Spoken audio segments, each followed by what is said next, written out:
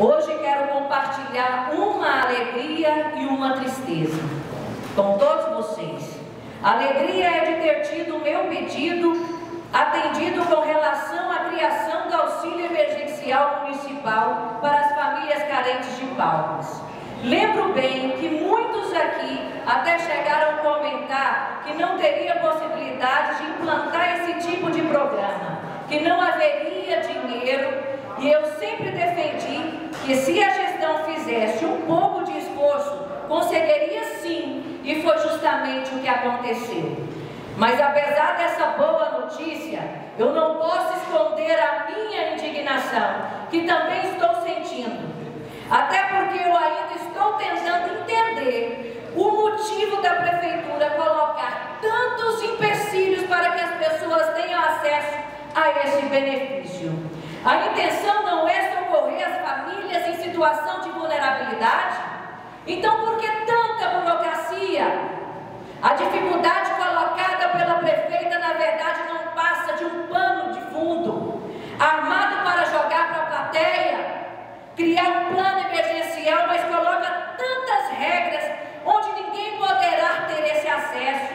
Está achando que a população é idiota.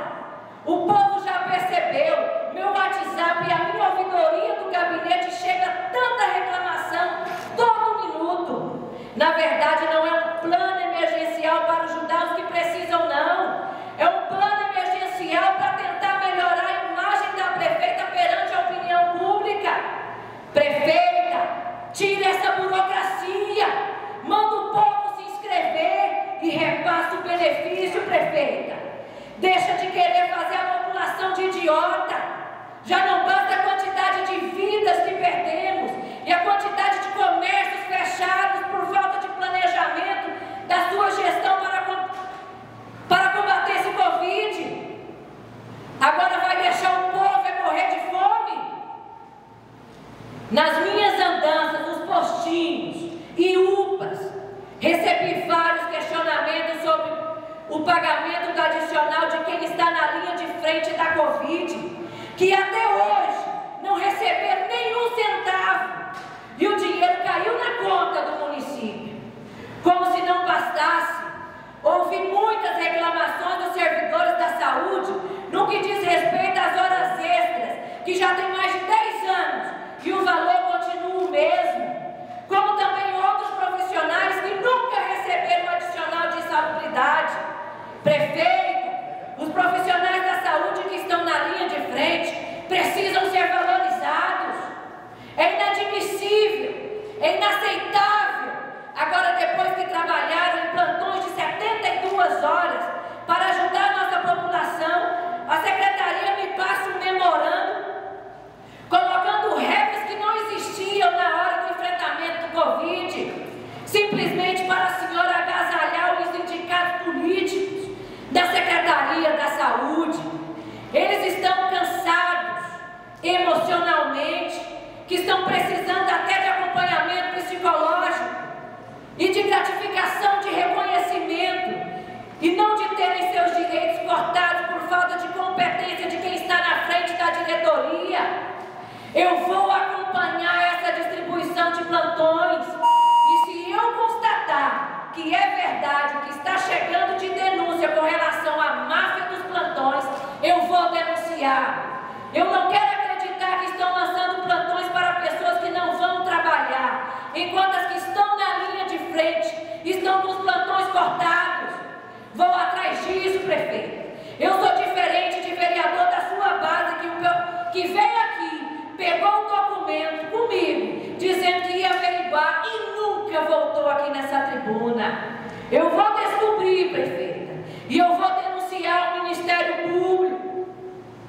Em 100 anos, em 100 dias, como vereadora, são mais de 10 denúncias feitas por mim, dois processos licitatórios cancelados, que somam mais de 66 milhões, e as denúncias de superfaturamento de mais de 844% na saúde. Além disso, eu apresentei 87 requerimentos e 27 projetos de leis. Quero deixar bem claro para, para todos que a minha postura nessa casa não mudará.